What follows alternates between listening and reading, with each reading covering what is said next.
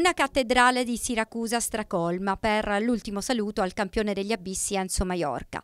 Ad officiare le esequie padre Rosario Lobello, amico di Maiorca e compagno di tante battaglie per la difesa della città. Molte le parole spese per il campione, per l'amore per il mare e la natura. Padre Rosario, conosciuto non solo per la sua attività sociale, ma anche come prete ambientalista, ha voluto condividere con i presenti le virtù di Maiorca e le tante lotte a difesa del territorio siracusano, in particolare quello della costa marina. Padre Lobello ha detto che è partita una petizione per intitolare al grande campione alla figlia morta anni fa la splendida costa della Pillirina.